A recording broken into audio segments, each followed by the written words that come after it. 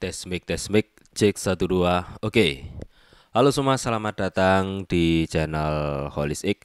Di video kali ini uh, segmen balas komen episode keempat kali ini kita mendapatkan pertanyaan dari kalian ya. Uh, ini pertanyaan ini masuk lewat WhatsApp. Kalau kalian perlu tanya-tanya saya juga boleh langsung ke WhatsApp aja ya. Linknya atau nomornya ada di deskripsi video ini. Oke. Ini pertanyaannya kayak gini. Malam Bang, ini kirimnya jam 18.15 ya. Bang, saya ada kendala nih untuk modem Huawei dan Mikrotik. PC1 bisa akses ke Mikrotik, ini PC1 bisa diakses ke Mikrotik dan modem ISP. Kemudian PC2 tidak bisa akses ke mikrotik, cuma bisa akses ke modem ISP aja. Harus setting di mananya ya? Mohon arahannya. Oke. Kita coba lihat topologinya. Nah, PC1 bisa akses ke mikrotik dan modem ISP. PC2 hanya bisa akses ke modem ISP, tidak bisa mengakses ke mikrotik dan PC1. Kok bisa? Nah, ini pertanyaan yang apa ya? E, banyak sekali faktornya ya, banyak sekali faktornya. Yang pertama kita coba uh, baca lagi pertanyaannya. Uh, eh, PC1 bisa akses ke ini PC1 nggak ada masalah ya akses ke PC2 ya kan. PC2 nggak, nggak harusnya nggak ada masalah PC1 akses ke PC2 dan modem ISP juga mikrotik. PC2 tidak bisa akses ke mikrotik cuma bisa modem ISP saja. Jadi PC2 ini bisa hanya bisa ke sini, tidak bisa ke sini dan ke sini. Nah, ya, oke. Okay.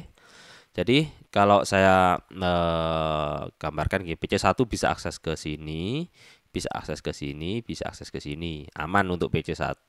Sedangkan PC2 hanya bisa akses ke sini, tidak bisa masuk sini dan sini. Nah, ini ada beberapa faktor ya. Yang pertama saya akan bahas eh, kenapa kok PC2 tidak bisa akses ke mikrotik. Nah, kita jelaskan di notepad aja. Ah, ya kan? Masalahnya eh, ini bentar ini besar banget kecilkan dulu. Nah biar rapi ya. Biar rapi ya biar enak bacanya. Oke. Kenapa PC2 tidak bisa akses ya kan? PC2 gagal akses. Akses mikrotik. Sebabnya? Sebabnya apa ya kan? Sebabnya apa? Satu ya kan? Kemungkinan eh, firewall input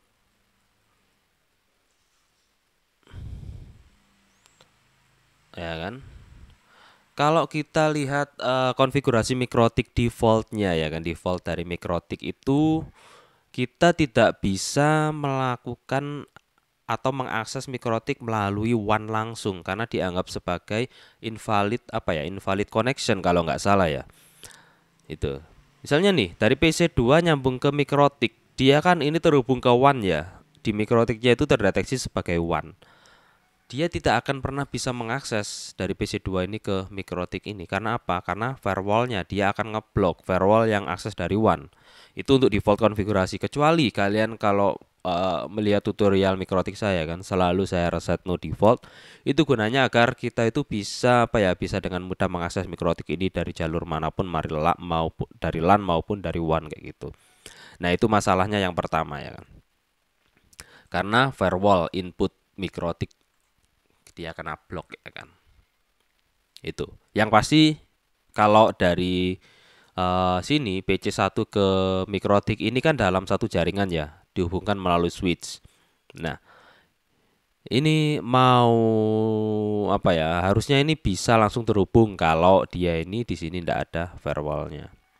Nah, itu yang pertama itu pasti uh, ada firewall. Mungkin harus diizinkan ya untuk akses network 192.168.0.0/24 di bagian firewall mikrotik. Sebentar tak buka dulu ya.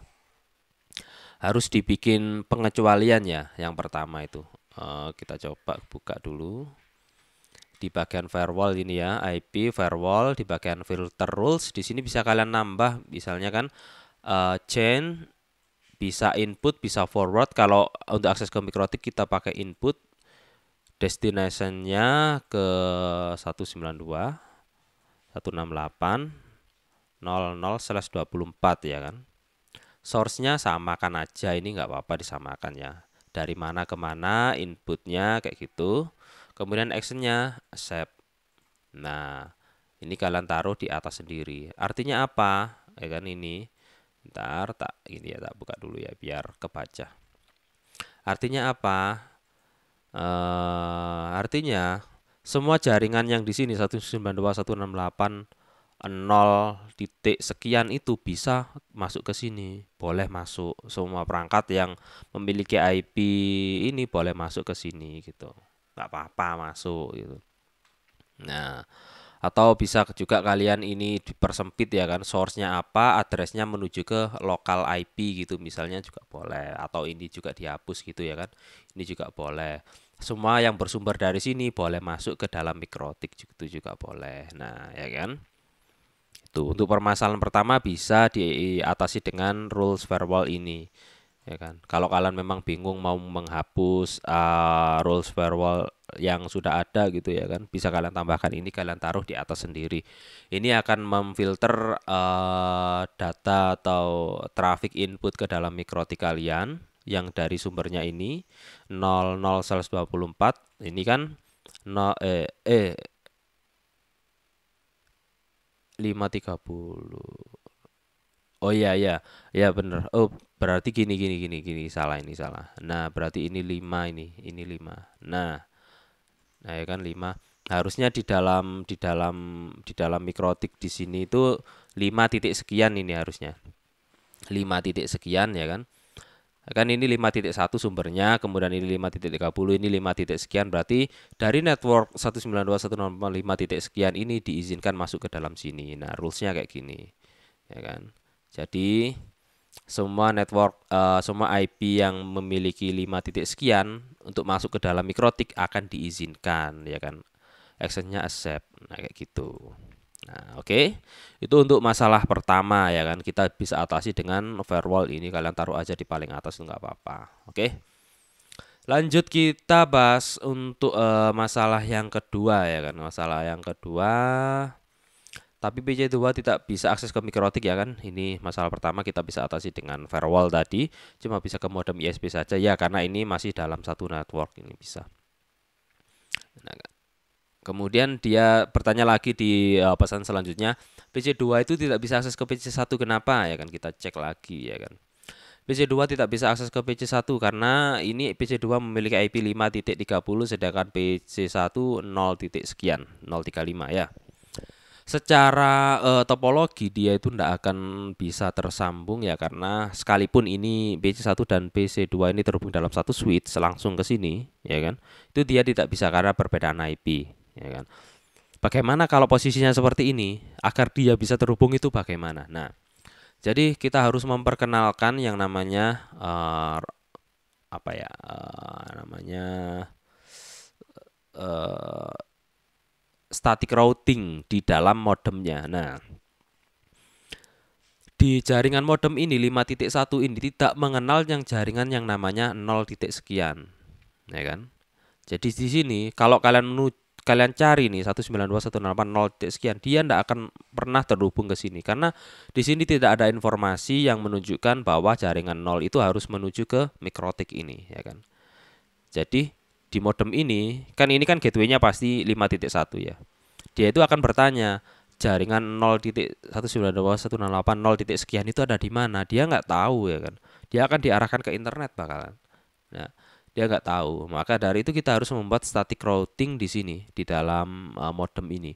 Static routing menuju ke mana? Menuju ke 192.168.0 titik sekian ya kan dengan network 255.255.255.0 menuju ke IP yang ada di sini ya kan IP yang ada di sini misalnya IP di sini 5.5 gitu ya misalnya maka jaringan 192.168.0.0 destination addressnya kan 0.0 ini gateway-nya ya 5.5 yang ada di jaringan ini di mikrotik yang one ini. Nah, maka dari itu kita sudah tambahkan di sini secara otomatis dia akan bisa mengenali yang di sini ya kan. Nah, statusnya kok pertanyaan pasti ada pertanyaan kok bisa PC1 terhubung ke PC2 ya karena dia memiliki informasi ini 5.1 dari mana ya dari sini Nah, dia itu dikenali di sini 5 5.0 dikenali di sini, maka secara otomatis dia bisa terhubung ke sini. Karena ini PC2 dan Mikrotik ini dalam satu network. Nah, anaknya Mikrotik pasti bisa mengakses induknya. tapi ini di induk tidak bisa mengakses anak. Itulah penyebabnya dia itu tidak bisa terhubung PC2 ke PC1 ya kan. Kalau kalian ingin membuat uh, static routing ya kalian bisa masuk ke pengaturan modem ya kan, pengaturan modem uh, di bagian apa ya? Di bagian Ntar kita tunggu. Di bagian kalau di Huawei HG8245H5 ini di bagian route kemudian static route. Nah, di sini kalian bisa tambahkan uh, routing ya, tambahkan routing. Bisa pilih domain, bisa pilih IP, pilih IP ke IP ini tujuannya. Misalnya 192 tadi kan 168 00 gateway-nya subnet max uh, 255 255 karena 124 ya. 0 kemudian gateway-nya kalian isi dengan IP yang mikrotik dapatkan dari modem tadi misalnya 192 168 5.5 gitu. Contohnya ya IP modem kalian dapatnya berapa gitu ya kalian sesuaikan aja. Nah kalau sudah kayak gini ya kan kita sudah mengenalkan jaringan 0.0 ini kepada uh, modem sehingga modem itu tahu jaringan 0.0 ini akan diarahkan ke gateway yang IP mikrotik ini ya kan. Jadi gini kita sudah mengenalkan jaringan ini ke dalam modem ini maka kalau ada orang yang menanya jaringan ini atau perangkat yang menanyakan jaringan ini, dia akan diarahkan ke IP yang mikrotik yang di sini. Nah, secara otomatis kalau diarahkan ke sini, dia kan akan mengenali anak-anaknya ini. Kalau sudah mengenali anak-anaknya, dia akan bisa terhubung ke sini, ya kan? Dia akan berkomunikasi ke sini dulu nanya jalurnya ini ke mana? Oh, dia bilang jalurnya ke mikrotik. Nah, habis itu diarahkan ke mikrotik. Mikrotik akan di mikrotik juga ditanya, dia ini uh, ada di posisi mana? Oh ya ada di PC 1 ya. Maka dia akan saling terhubung kayak gitu. Oke. Jadi simpelnya kayak gitu ya. Jadi selain selain masalah tadi ya, yang pertama masalahnya kenapa tidak bisa uh, akses ke mikrotik kemungkinan mikrotiknya ada firewall inputnya yang diblok. Nah, jadi kalau di blok ya ya udah nggak bisa masuk. Kemudian masalah yang kedua kenapa PC2 nggak bisa akses ke PC1 ya karena dia tidak memiliki routing tables yang menuju ke PC1 ya kan. Jadi PC2 ini hanya mengenali jaringan sekitarnya aja ya kan dan jaringan internet.